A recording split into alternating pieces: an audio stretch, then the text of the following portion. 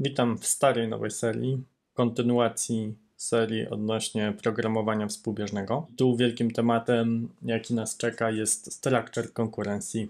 Jednak zanim przejdziemy dalej, musimy rzucić okiem na to, jak się tu znaleźliśmy. Żyjemy z nowym językiem od 2014 roku i w tym czasie naprawdę dużo się zmieniło. W 2016 pojawiła się pierwsza propozycja wprowadzenia do języka mechanizmu obsługi współbieżności, a w 2021 wraz z Swift 5.5 się jej doczekaliśmy. Niestety nie wszystko jest takie piękne i proste jak na prezentacjach z DabDaba. Z moich osobistych doświadczeń na pewno mogę powiedzieć, że nie wolno mieszać starego świata z nowym. Jak zwykle, problemy mogą być bardzo subtelne i przez większość czasu wszystko będzie działać, po prostu będzie się zachowywało normalnie lub tak jak tego oczekujemy. Problem może się pojawić w pewnym momencie i tu zaczyna się szukanie przyczyny. W tej części tego kursu będę opowiadać o structured konkurencji. Nie będę mieszać tego nowego świata z tym starym. Wiem, że to jest praktycznie nieuniknione, szczególnie w projektach, które już mają kupę kodu napisaną. Będzie taki moment, kiedy właśnie te stare rzeczy i nowe rzeczy będą się przenikać. Dla tych wszystkich z Was, którzy właśnie są w tym miejscu, polecam stronę Wojciecha Kulika Swift Concurrency Things They Don't Tell You. Jest to super artykuł pokazujący, jakie pułapki czyhają na Was w codziennej pracy z nowymi rzeczami.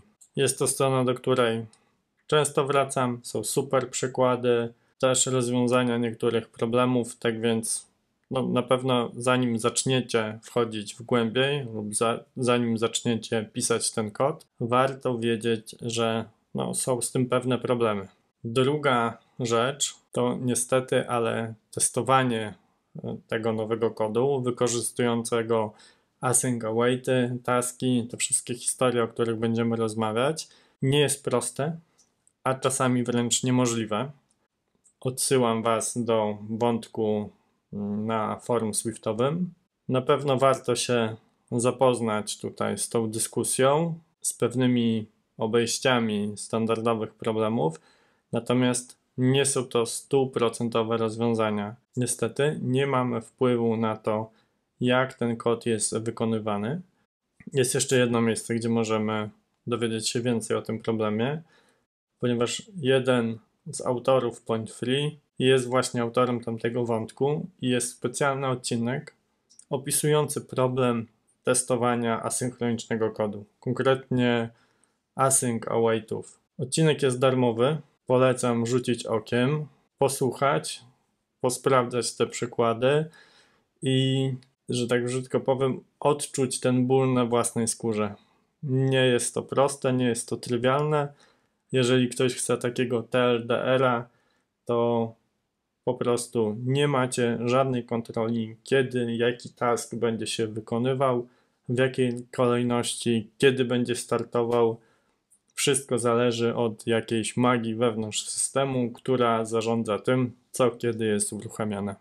Ten odcinek to jest tylko taki wstęp do tego, czym się będziemy zajmować. W dalszych częściach po prostu będę wnikać głębiej, bardziej szczegółowo. Razem ze Swiftem 5.5 do języka doszło takie pojęcie jak structured konkurencji. Co ciekawe, nie chodzi w nim o same mechanizmy związane z obsługą współbieżności, ale o sposób, w jaki powinniśmy pisać kod, aby był on przewidywalny, łatwy do zrozumienia i pozwalający się wydajnie zaimplementować. Przynajmniej taka jest teoria. Pierwsze, z czym mamy do czynienia, to jest pula wątków. System zarządza tą pulą wątków, dzięki czemu nie ma obawy, że powstanie ich za dużo nie ma też narzutu związanego z tworzeniem i niszczeniem wątków. Powiedziałbym, że w pewnym sensie należy zapomnieć, że istnieją jakieś wątki. Funkcja, zadanie, task może wystartować na jednym wątku, a następnie zostać wznowiona na zupełnie innym. System też może zdecydować, że praca zlecona w tle zostanie wykonana na głównym wątku. Wszystko zależy od tego, co jest w danej chwili optymalne. Detalami będziemy zajmować się potem. Teraz wystarczy nam taka wiedza,